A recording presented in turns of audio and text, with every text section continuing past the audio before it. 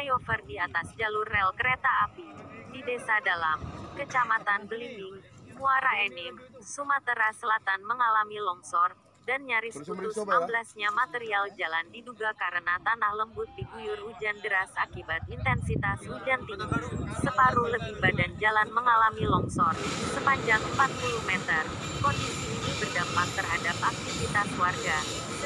Sedikitnya 4.700 jiwa terancam terisolir. Aktivitas warga untuk keluar masuk desa terhambat.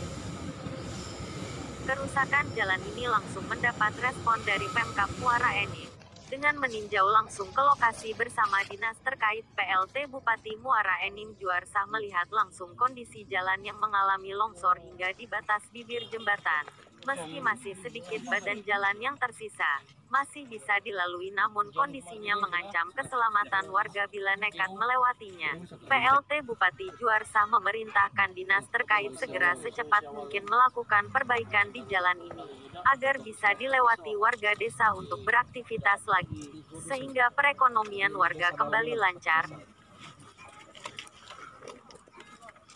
Jadi jalan ini tembus ke mana? Jalan setapak.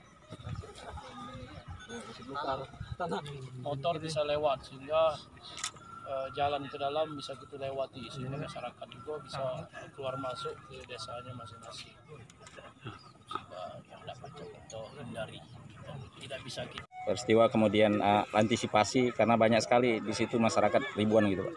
Ya, eh, sebagaimana kita ketahui semalam semalam Pak Jaman ya, telah terjadi musibah longsor yang telah membuat terputusnya hubungan antara masyarakat desa dalam untuk keluar dari desanya.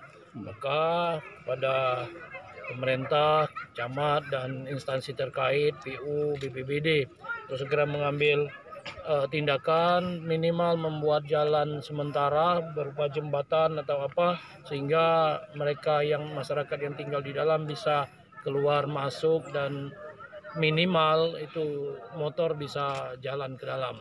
Nah, lebih kurang 4.700 kakak jiwa jiwa, Jiwa? 4.700 jiwa dan terdiri dari tiga desa ya tiga kampung. tiga tiga kampung. dusun tiga dusun. Jadi Ya. secepatnya harus harus diselesaikan.